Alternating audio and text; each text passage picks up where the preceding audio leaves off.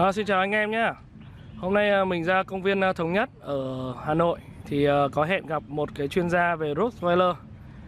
À, trước mặt anh em là chuyên gia Rottweiler Hà Nội. Rồi, xin chào. Rồi, bắt tay cái. À, Vinh hôm nay mang cái chú Rottweiler đến công viên buổi chiều này là đi tập thể dục. À, Hà Nội thì những cái đợt này thì đang tâm điểm của dịch uh, nCoV thì uh, cũng uh, thật sự là anh em mình phải hẹn nhau mấy hôm thì mới có thể uh, ra được chỗ công viên này và chọn một cái nơi mà thoáng thoáng mát mát một tí ít người để mà quay lại cho anh em. Thì mình cũng uh, khuyên anh em nhé là khi mà mình dẫn những cái chú chó to như này thì luôn luôn phải có xích và dọ mõm. Đấy thì khi mà về đến chỗ đoạn này rồi thì Vinh mới có thể cởi cái dọ mõm của chú chó ra nhé rồi anh em trước khi xem cái chi tiết của cái video này thì nhớ bấm subscribe cho kênh và nhớ bấm uh, like cho kênh nhé để ủng hộ kênh Nhân Tốt TV cái mùa đợt uh, dịch bệnh này. À, sau khi uh, mình và Vinh dẫn cái chú chó Rottweiler ra một cái góc công viên rất là vắng vẻ để mà làm cái chương trình này nhé thì uh, bỏ cái phần dọ mõm ra để anh em được nhìn thấy.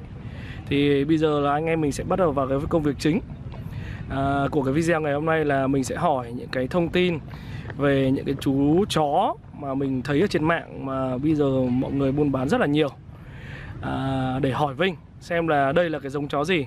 Thì trên cái ghế ấy, mình đã để cái điện thoại. Thì à, nhờ Vinh à, kiểm tra cho anh xem là đây là giống chó gì nhỉ? Con này thì em nghĩ nó không phải là rốt đâu anh ạ. Mà nó, nó, nó như kiểu nó quay lại một phần cái gen giống của rốt ngày xưa là ngao từ ngày xưa rồi. À, Bởi vì rốt thuần trùng thì nó không có những cái nét như bây giờ. À không có những cái nét như như, như con như này. thế này. Nó sệ nhiều quá. À, đấy thì cái hình ảnh ấy thì à, mình sẽ chèn bên à, góc một góc của video để cho anh em được xem. Thì à, đây Vinh thì là rất nhiều anh em mà đã xem cái kênh Em Tốt TV của mình thì đã biết là Vinh là một cái nhà nhân giống Rottweiler à, kỳ cựu tại Hà Nội. À, Vinh là anh hỏi lại là Vinh là chơi rốt đến năm nay là bao nhiêu năm nhỉ? Em chơi rốt đến, đến năm nay khoảng là năm thứ 10 rồi anh Năm thứ 10 rồi. Vâng. Mà cái thành tích của Vinh đạt được là với cả chú chó Husa là đã được giải gọi như là chó đẹp Ờ, Gọi như là chó đẹp nhất đúng không? Vâng. Của một cái uh, dog show. Mà cái show đấy là show chuyên biệt dành cho Rottweiler Đấy. Ờ, Còn hôm nay thì ờ, đây không phải là Husa Nhưng mà đây cũng là một cái chú chó được giống tại ờ, chỗ của nhà Vinh. Thì Vinh có thể cho chú chó đứng lên để mình quay lại cho anh em được xem nhỉ? Lát đây con. Đây. Ờ, Chú chó này tên là gì Vinh nhỉ? Ờ, Bạn này tên là Lát đấy ạ. Lát. Cũng là một con giống ờ, bên em nhập ở bên uh, Serbia về ạ. À ok. Thì ờ, bây giờ mình sẽ để mà quay tổng thể lại cho anh em xem Thì bọn mình sẽ ra cái phần bãi cỏ ở phía sau đi Cho nó sáng sủa đẹp nhá. À, Trên hình ảnh của anh em là một cái chú chó Rottweiler mà thuần chủng nhá. Theo đúng cái tiêu chuẩn của giống chó Rottweiler. Vinh ơi cái con ờ, chó này thì là được bao nhiêu tuổi nhỉ? Ờ, Bạn này của của em được khoảng hơn 4 tuổi anh ạ. Hơn 4 tuổi. Và nguồn gốc ở đâu? À, nguồn gốc là bạn này bọn em nhập thẳng ờ, nhập trực tiếp từ bên Serbia gửi về ạ. à, từ Serbia Bây giờ mình sẽ tiến lại gần để cho anh em được xem nhé Cái phần đầu thủ rất là tuyệt vời. Đây con. Đấy. Chó sâu ấy thì ờ, nó rất là lành Nó rất là lành tính. À, vì các bạn có thể nhìn thấy cái phần trán này. Đấy, phần cổ rất là to. Nối liền với cả cái phần thân người. À, Trong cái hình ảnh mình quay lên thì nó hẳn câu là Nó sẽ bị giảm thiểu đi cái chất lượng rất là nhiều khi mà các bạn có thể nhìn được phía ngoài thì các bạn sẽ thấy cái độ khủng khiếp của những cái chú chó thuần chủng. À, chó nhập nó như thế nào? Đấy. Láp con à, cộng thêm nhé các bạn. À, mình sẽ quay lại cái phần à, chú giữ cho anh cái phần đầu để anh sẽ quay trực tiếp cho anh em được xem. Các bạn nhìn thấy cái phần đầu thủ này không hề có một cái nếp nhăn nếp gấp nào. Giống như những cái hình ảnh ở trên mạng đúng không? Đấy, rất là tuyệt vời. Dù đây là một cái giống chó to các bạn nhìn thấy này đấy cái phần đầu thủ gần như là to này và cái cái cái lông của nó rất là sát. Đấy mồm rất là to rộng. Mắt thì màu nâu hạt rẻ nhá. Mắt không bị chảy xệ. Đó. Tai thì là tai uh, cụp. À, hiện tại trong cái giới chơi rốt chuyên nghiệp nhá mình đang nói là chợ giới chơi rốt rốt chuyên nghiệp nhá, là người ta sẽ để nguyên cả đuôi đúng không nhỉ Vinh nhỉ? Vâng. Ờ, hiện tại thì hầu như là không ai à, cắt đuôi mấy anh ạ cả trên thế giới nó cũng như thế đúng không? Từ ờ, trên thế giới từ thời hà- 2007 2008 ấy là bên đấy người ta đã hạn chế việc cắt đuôi Ờ, hạn, hạn chế việc cắt đuôi và những con chó đi sâu là là không được cắt đuôi nếu cắt đuôi là không được đi sâu đấy. À ok. Nghe mình lại ra à, để mà nói chuyện tiếp về cái câu chuyện hôm nay cái chủ đề ngày hôm nay nhé là về cái chó, giống chó rốt gọi như là rốt mặt sệ thì ngay bên cạnh màn hình thì bây giờ là mình sẽ chèn cái hình ảnh của cái hình ảnh của những cái chú chó rốt đấy vào. Mình chắc chắn là sau những cái video này thì ờ, có thể là cái cộng cộng đồng rốt Rottweiler nhất là những cái người nhân giống mà những cái chú chó rốt mặt sệ này sẽ có thể ờ, dậy sóng vì có thể ảnh hưởng đến cái cơm áo gạo tiền người ta. Nhưng mà cái gì đúng thì mình cũng phải nói thôi. À, mình nhờ một cái chuyên gia mà kỳ cựu tại Hà Nội đấy và những cái chú chó nhập chó sâu đầy đủ nguồn gốc giấy tờ và quay lại cho anh em xem để làm rõ. Thì à, theo Vinh mà đã nuôi và tìm hiểu rồi thì cái hình ảnh của cái chú chó rốt bên cạnh này này thì à, nó có phải là thực sự là chó rốt quái lơ không? thực ra đối với bọn em đã nhân giống chuyên nghiệp thì cái hình ảnh bên cạnh này nó không gọi Rottweiler nhá mà như thế là nó đã lai tạo rồi. Thì ờ, cái dòng máu của cái bọn này thì à, nó theo theo chú thì nó có những cái dòng máu của giống chó gì? Ờ, theo em được tìm ờ, theo em được biết và tìm hiểu thì ờ, như như cái ảnh bên cạnh là là bên Trung Quốc người ta đã, đã cho lai với các các dòng ngao rồi. Ừ. tạo ra một con chó có màu mảng hình thể có vẻ giống rốt nhưng mà nó to hơn và nó sệ hơn. Thành à, ra là nó đánh vào tâm lý của người mới chơi thôi chứ nếu mà để à, anh em nào chơi chơi lâu mà hiểu biết thực sự thì người ta không coi trọng cái giống này bạn người ta sẽ không mua đúng Vâng, không? người ta sẽ không mua. À, kênh của mình thì ờ, quay Rottweiler này và quay ở những cái ờ, show uy tín chuyên nghiệp của những cái hiệp hội nuôi chó giống tại ờ, Việt Nam tổ chức nhé và cũng đã từng quay một cái giống chó gọi như là ngao ý. À, nó có tên quốc tế là Napolitan Martit. Thì mình cũng sẽ chèn được cái hình ảnh cho anh em được xem. Nếu như mà con ngao ý thuần chủng thì hình ảnh của nó sẽ như thế này đây mình sẽ chèn hình ảnh vào nhé đấy và khi mà cái giống chó mà bên hiện tại là bên Trung Quốc hay chúng ta à, mình cũng xin nói rõ luôn là đây là ví dụ là rốt tàu chẳng hạn thì người ta sẽ lai tạo giữa rốt thuần chủng và ngao để ra một cái giống chó gọi như là trông nó gọi như là đầu gấu một tí này trông nó gọi như là dữ tợn hơn và khác lạ hơn rồi là mặt chảy hơn. Đấy nhưng mà rõ ràng đây không phải là một cái giống chó thuần chủng chỉ dành cho những ai mà thích những kiểu như là chó lạ này và chó như kiểu to trông nó hầm hố. Đấy, nhưng mà khi mà các bạn có thể thấy xem khi mà chúng mà phát triển lên mà chúng lớn lên thì trông chúng không còn là một con rốt nữa. À, trông chúng rất là khác lạ. Còn đây trước mặt hình ảnh của anh em là một cái chú chó rốt thuần chủng nó phải như thế này. Đấy chân tay rất là to cái phần ngực rất là to nhé đấy phần ngực to. Mặt thì đầu thủ cũng rất là khủng khiếp luôn nhưng mà không hề chảy xệ nhá. Đấy các anh em có nhìn thấy không hề chảy xệ và thần kinh rất là tốt. Đấy ví dụ mình quay này mình cầm một cái máy quay ở phía trước mặt. Và như anh em được biết là những người người ta đi tập thể dục quanh đây là người ta cũng quen rồi. Nhưng mà con chú chó là không hề tỏ vẻ một cái thái độ gì là thù địch hay là là là là, là có vấn đề gì cả. Đó. À, th- một cái thông tin nữa thêm cho anh em được rõ nhé là tại sao mà mình lại gọi là rốt tàu. Rốt tàu là những cái con rốt mà thực sự là không tốt đang bán tại Việt Nam. Và hình dáng cái kiểu hình cái người chơi chó ấy, thì người ta gọi là có một cái từ gọi như chuyên môn là kiểu hình. Tức là con chó nó phải đúng theo cái hình dạng mà theo cái tiêu chuẩn của quốc tế người ta đưa ra. Đấy thì thế mới là một cái con chó mà có kiểu hình tốt hay là gọi là thuần chủng là phải có đầy đủ giấy tờ nhá. Còn cái con rốt mà mình đang nói chuyện là cái hình ảnh bên cạnh đấy là rốt mặt sệ thì mình cứ tạm gọi là rốt tàu vì nó có nguồn gốc từ tàu. Nhưng mà theo anh được biết là cái giới chơi chó gọi như là của Trung Quốc ấy thì thực ra là người ta là một cái giới chơi chó rất là chuyên nghiệp và có rất nhiều những cái con giống đẹp đúng không nhà Vinh nhỉ? Dạ vâng, đúng rồi. Thực ra giới chơi chó ở Trung Quốc thì người ta không ngại đầu tư và những con giống tốt thì người ta hay à, đưa về để nhân giống. Thực ra cái rốt tàu là do mình đặt ra thôi chứ nếu mà gọi thế là không chuẩn.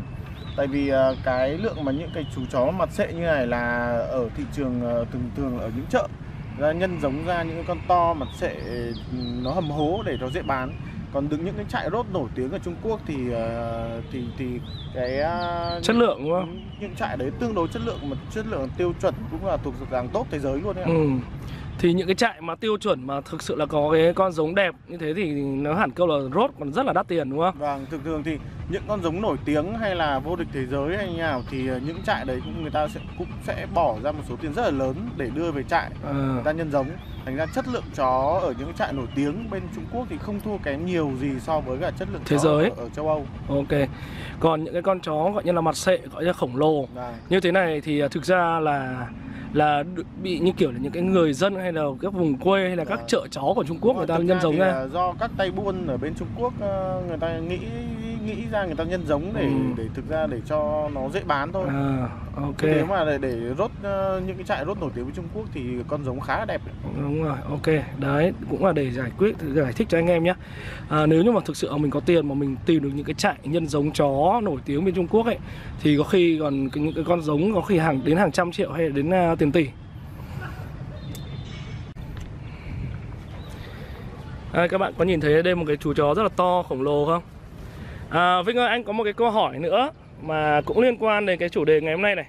Là rất nhiều người là gọi cái con ờ, rốt mặt sệ đấy là rốt sai đại. Thì uh, tất nhiên là đây là cái chú chó Rottweiler của mình là cũng rất là to và khổng lồ rồi. Thì theo chú là cái câu họ câu câu nói là rốt sai đại là có đúng hay không? Và có cái loại rốt sai đại hay không? Ờ, thực ra cái định nghĩa này là do dân buôn chó ở mình là người ta nghĩ ra thôi. Ừ. Người ta tự nghĩ ra là chó nhỏ người ta gọi là size tiểu, vừa vừa là size trung và to size đại. À. Nhưng thực ra ở ờ, ở trên thế giới thì nó không có không có cái lý thuyết và định nghĩa là như vậy. Tại vì ờ, theo theo theo em được biết thì rốt chỉ có một tiêu chuẩn Ừ. là trong một cái khoảng nhất định ví dụ như là cái thì rơi từ 35 đến 45 cân, đực từ 45 đến 55 cân thì nhỏ hơn hoặc là lớn hơn người ta gọi là oversize hay hay là nhỏ hơn size một chút. Ừ. Đấy chứ không không có tiêu chuẩn gì về gọi phân biệt là Là theo size, đúng không? Là, là size tiểu đại hay trung gì cả. Ừ. À, một cái chú chó rốt như này này thì đây cũng là một cái con đực giống của chú thì à, theo cái tiêu chuẩn thì à, ví dụ con đực như thế này thì à, nó rơi vào tầm bao nhiêu cân Ờ, bạn này của em thì rơi khoảng độ 54 55 cân là Ừ. vẫn thuộc dạng ờ, size tiêu chuẩn đấy tiêu chuẩn Vâng đấy các bạn nhìn nhá. Rốt tiêu tiêu chuẩn và rốt đi sâu hay là anh em chịu khó trong trong luyện tập ấy nhá là nó rất là cơ bắp chứ nó không bị phì đâu. Đấy anh em có thể nhìn thấy cái phần mà phần bụng. Tất nhiên nó nó không thể nào mà là ngực nở bụng thon như kiểu ờ, uh, Doberman hay là các giống chó khác được. Nhưng mà các bạn có thể nhìn thấy này đấy là nó rất là form dáng rất là đẹp. Đấy phần đùi này. Đấy, mình sẽ có thể uh, đi xa xa cho anh em mình nhìn thấy.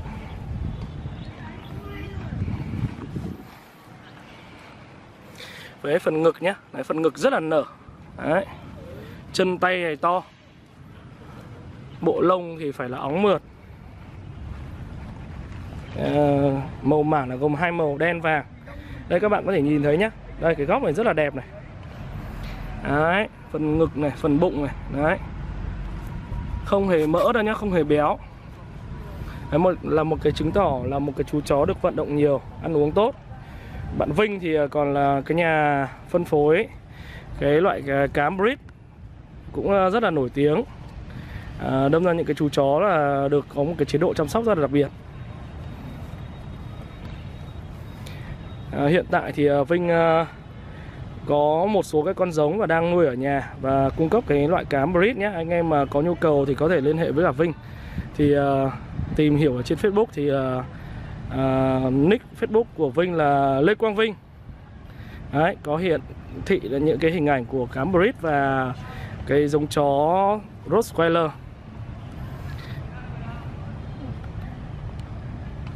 Rồi cái chương trình hôm nay thì là mình sẽ làm như thế này. Vì anh em mình cũng chỉ có gần đấy cái uh, Chuẩn bị gần đấy những cái câu hỏi Hay là định mà để uh, trả lời cho anh em. Còn anh em xem cái video này này. Ờ, có thêm những cái câu hỏi nào hay là có thắc mắc nào nữa thì cứ comment.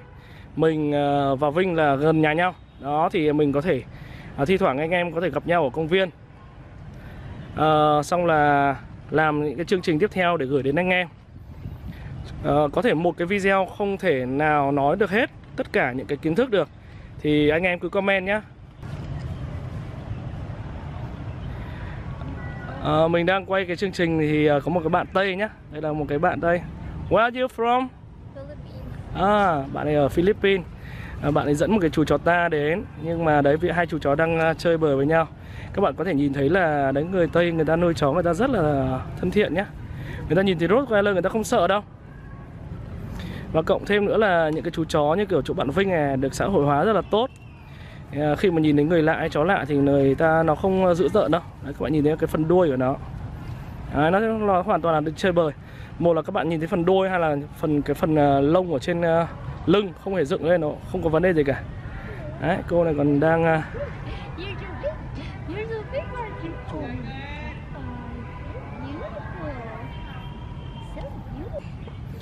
à những cái người thân quen ở cái công viên này chỗ bạn Vinh tập thể dục thì người ta đều biết chú chó này rồi người ta cũng không sợ nữa. Nhưng mà luôn luôn anh em phải có dây dắt và đồ bảo hộ nhá. Người ta biết tên em cái là Rộng mõm nhá. sản phẩm của em rồi. Nhưng mà về về sau to đây là cái chị à, tập thể dục ở công viên nhìn thấy cũng không hề sợ cả. Nhưng mà nhà bây giờ em nếu mà người- những cái người người ta biết là người ta không hề sợ một tí nào các bạn nhé đấy. những cái người người ta chạy thể dục qua người ta có để ý gì đâu. Vì hàng ngày người ta gặp rồi. và tất nhiên là người ta cũng biết là Vinh có thể là xử lý được chú chó chứ rồi, xin chào anh em và hẹn gặp lại nhé nhớ bấm subscribe theo dõi kênh. Bye bye, hẹn gặp lại anh em.